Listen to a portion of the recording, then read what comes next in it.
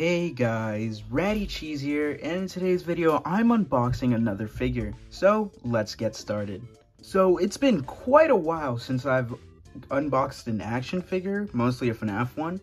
Uh, I really don't know when was the last time, but if you haven't been living under a rock for the past few months, you'd know that Sun and Moon is getting merch, right? They've gotten plushies and action figures and like a few other things, but from different companies. Funko has made plushies and action figures. So uh, I found the Moon action figure and the Sun action figure at um, Books A Million, also known as BAM. And I'm honestly pretty happy because here we go. We have Moon from the new Security Breach wave. Uh, this wave is just only like two figures, which is uh, Sun and Moon. But he honestly really looks good in box with mostly this type of box. Like, I really like this, um, the security breach box.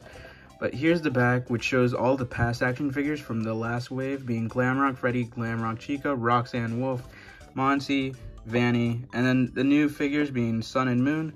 Uh, I paid $15 for this and found it at BAM. So yeah, I'm gonna open this and let's review it. So with Moon finally out of box, uh, I can actually take him out. So, yeah. Uh, this was... Okay, hold up. It's gonna take me a bit.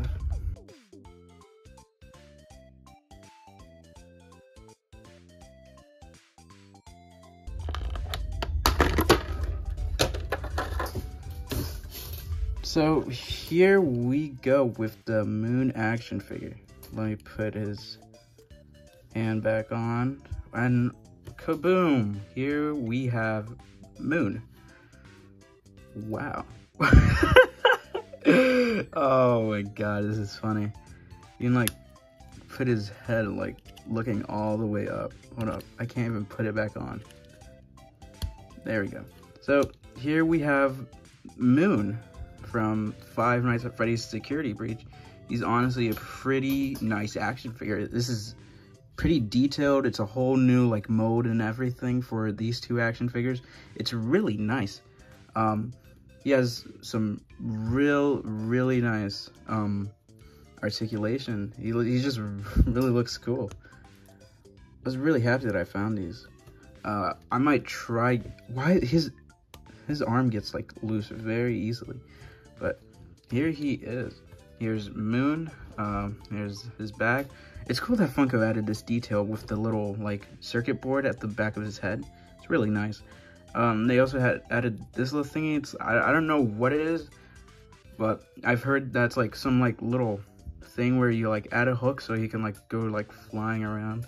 Like imagine just this little this little goofball. He's just flying towards you. He's like yeah, and yeah, but this guy's honestly not that bad. He's a very nice action figure. Um, let's see if I can...